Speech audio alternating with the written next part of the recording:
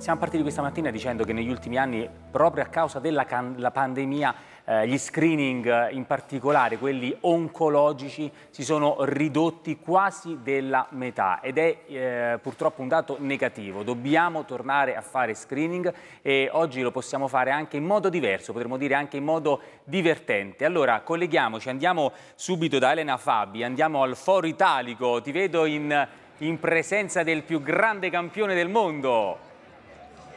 Sì, buongiorno a tutti, il campione dei campioni, Nicola Pietrangeli, siamo nello stadio dedicato a lui, al grande campione. Sono ben 11 anni che tu segui questo progetto e sei legato a Tennis and Friends. Ci racconti qualche aneddoto?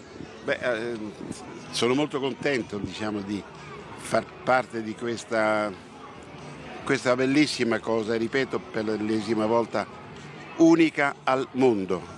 Ripeto, unica al mondo perché è partita, se non sbaglio, con tre tende che era solo per la tiroide e adesso abbiamo passato 100 tende, cominciato con eh, gemelli e adesso si sono aggregati parecchi ospedali romani. Ma come sei venuto in contatto con Tennis and Friends? Cosa è successo nella tua vedi, vita? La, la famiglia Meneschincheri Eccolo. e quindi Giorgio che è quello che veramente è stato, eh, eccolo lì, che è stato veramente l'inventore di questa manifestazione che è nata, ma mi viene spiegato, forse è un po' lungo, ma magari un giorno lo farà lui, è nata quasi per caso. E poi si è, piaciuta. Eh vabbè, certo lo sapete, lo sai tu meglio di me. no, però, però voglio dire, e quando Ecco, no, no, Nicola, Nicola intanto presi, ricordiamo Presidente onorario, eh, voglio, voglio, salutare anche le persone qui, qui in studio, Giorgio Meniskincheri che è il Presidente di Tennis and Friends e Patrizia Musetti eh, che adesso ci racconterà anche Buongiorno. la testimonianza perché eh, voglio venire subito da lei Presidente, intanto abbiamo visto, abbiamo giocato perché eh, gli screening, la prevenzione è anche divertente, cioè dobbiamo, dobbiamo, avere un approccio diverso perché fin troppo spesso siamo andati noi dal medico anche un po' con la paura che cosa potrebbe, ecco questo è un buon modo per fare prevenzione e eh, divertirsi anche e poi soprattutto scoprire se mai ci dovesse essere qualcosa di negativo, scoprirlo prima è meglio. Beh, una diagnosi precoce intanto salva la vita alle persone. Uno.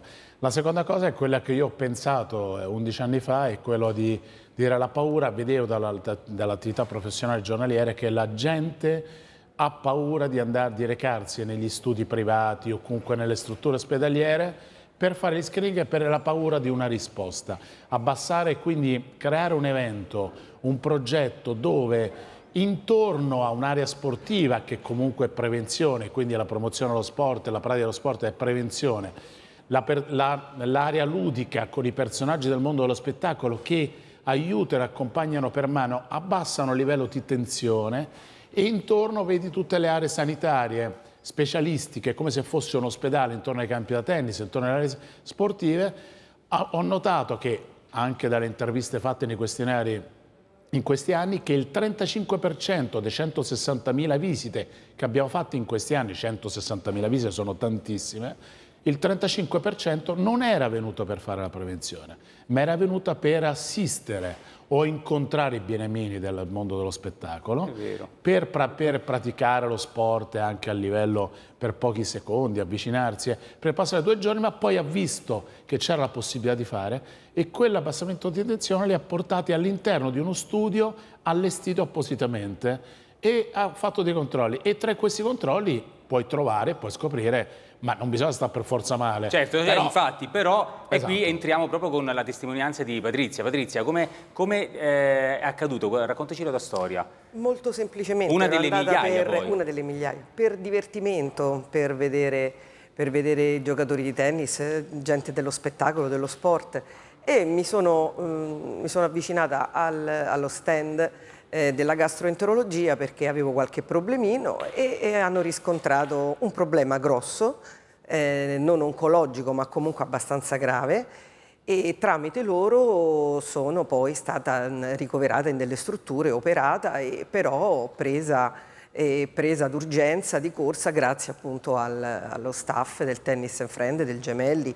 Quindi la mia curabile, anche se grave curabile, ma immaginiamo eh, se non avesse fatto quel controllo quel giorno. Quindi, ecco, ma allora... Sarebbe stato molto diverso. difficile. Non sarei Quindi, stata qui, probabilmente. Oggi possiamo sorridere. Allora, voglio tornare da, uh, da te, Maria Elena, perché eh, la cosa particolare è che con il presidente che hai accanto, con Nicola, eh, lui è lì a guardare. Io sono uno di quelli che ha iniziato pure a giocare a tennis e un po' me ne vergogno perché non gio gioco malissimo, ma la cosa pazzesca è che, ad esempio, uno come Fiorello abbia iniziato a giocare a tennis grazie a Tennis and Friends e quindi anche la capacità poi di, di iniziare nuovi sport ad una certa età.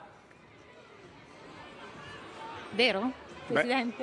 Beh, beh, allora, giocare a tennis per fortuna si può giocare fino, a, fino, a, fino, a, fino alla fine, perché eh, c'è gente, forse non lo sapete, che in America ci sono i tornei over 90 e e, e giochicchiano, eh? non, è che, non è che...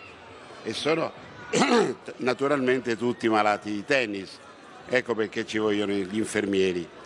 Però, però è, un è, un po', come il golf, puoi giocare fino a quando basta non cercare di strafare, perché purtroppo ci sono, tipo in agosto, voglio perdere qualche chilo e mi metto la tuta eh no, a quel punto lì devi no. morire.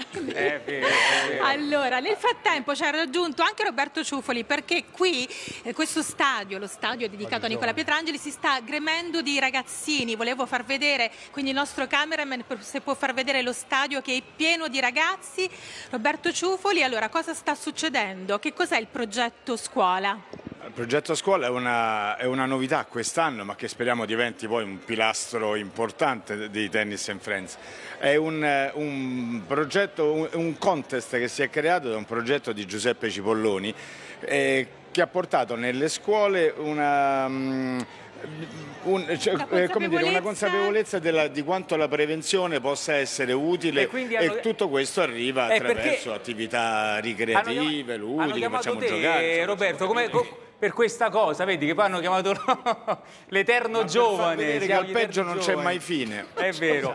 Non c'è mai fine. Allora, eh, prima di eh, salutarvi e darvi l'appuntamento quindi da oggi, sabato e domenica, la novità qual è? Eh, Ma Presidente? la novità sono due. Intanto oggi dei giovani, perché penso e ipotizzo che sia importante partire dai giovani, la formazione dei giovani, soprattutto perché la pandemia li ha bloccati, li ha ristretti in casa, sono diventati molti asociali, non praticano eh, attività sportiva molti, non l'hanno ripresa anche per motivi economici, quindi qua va sollecitato un po' come li possiamo aiutare. L'altra è che il campo centrale del Foro Italico oggi è diventato un ospedale, cioè ah. quello, quel campo centrale dove è inaccessibile per chiunque, sono stati creati 120 studi medici all'interno. Quanti reti sono? Sono 100? 120 studi medici, 23 specialistiche, 30 strutture sanitarie del Lazio, con medici volontari che per un weekend visiteranno dalle 10 alle 18 gratuitamente tutti quanti vogliono correre oltre tutte le, le forze armate. E certo. Cioè abbiamo e... la sanità militare, con le tende, quelle e che abbiamo sarà... visto nell'anno della pandemia. E ci sarà anche lui perché intanto è in corso a Bari il 74esimo Prix Italia, la rassegna internazionale promossa dalla RAI che eh, premia il meglio di radio, tv, eh, web da tutto il mondo e guardate chi ci racconta l'appuntamento.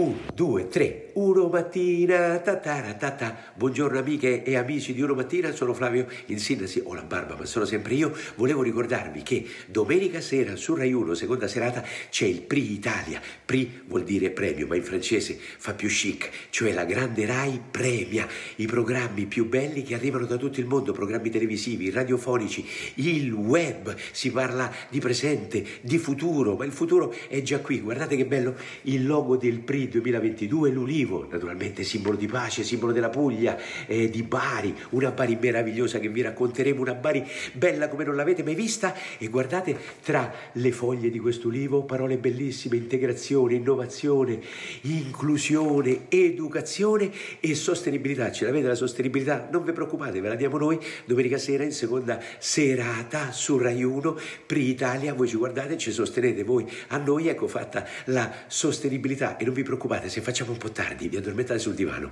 e lunedì chi vi sveglia? Uno mattina, tatara, tatà. Vi aspettiamo domenica sera su Rai 1, seconda serata. Ho spiegato tutto male? Meglio, un motivo in più per guardare il Prima Italia. Ciao! Ciao Flavio, e noi ci saremo. Allora, chiedo al professor Meneschincheri con chi mi potrò sf- eh, sfidare Ma- in questi giorni. Ma vuoi il capitano della Coppa Davis eh, Volandri o vuoi per caso Rosario Fiorello e Maxi Giusti, Pino Insegno? Dimmi, dimmi un po' chi, No. chi- chi vuoi. Io direi una cosa. Allora, eh, Max Giusti gioca molto bene. Eh. lo so, il fatto che sono tutti forti. Allora, noi vi ringraziamo, però è questo perché ricordiamo che lo sport è salute alla fine. Assolutamente, è prevenzione, soprattutto ed è salute. Grazie, grazie. Io lo sai che vorrei, chi vorrei sfidare? Eh, perché mi è simpatica. Eleonora Daniele, però non l'ho mai vista giocare. Vabbè, Sa- ma noi la mettiamo in campo. Ma È noi forte, la mettiamo in campo. è forte? È forte, è forte. Vuole venire? Eccola, la, la facciamo. Eleonora, vieni qua, vieni qua, Eleonora. A Eh, padel, eh? Faccia- Ciao, complimenti per quello che fate, Eleonora. Eccola Eh? qua, perché siamo una grande squadra, una grande squadra e come te la cavi con, con il tennis? Sei Io benissimo. Benissimo, eccola Sono là. brava a padel. Ecco, eh. quindi avete trovato l'uomo Rai che Ma non sa... anche a padel, eh? No, ma Sapete. avete trovato l'uomo Rai che non sa giocare né a tennis né a Ma padel, non però... è vero, non Ti è insegniamo vero. noi, non Brava, ti ma preoccupare. ecco.